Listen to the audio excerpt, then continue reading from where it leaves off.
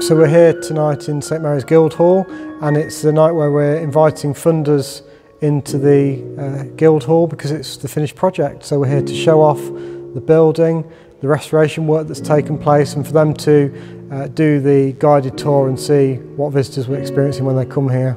Yeah, funders have, have contributed to 15 cultural buildings across the city. Uh, they've invested in historic buildings across the city and people are seeing that now. They're, in, they're enjoying them. So Drapers Hall, Belgrade, there's a whole host of buildings that have been invested in and that's our legacy, that's what's making the difference in the city. We're focused on delivery and people see what we've done, we've got a track record of delivery and people can see what it is we're doing. This is Coventry and we, we deliver for our people. We're on a journey in Coventry to become one of the greatest tourist attractions anywhere in the Midlands and what better offer than people to come to our fantastic Guildhall, the finest in England and of course you know, we are busily investing in our city. We're creating hotels. We've utilised some of our city walls to turn them into uh, tourist uh, places where people can actually uh, stay, accommodation. So it's about people coming to the city, seeing some of our great jewels in our crown,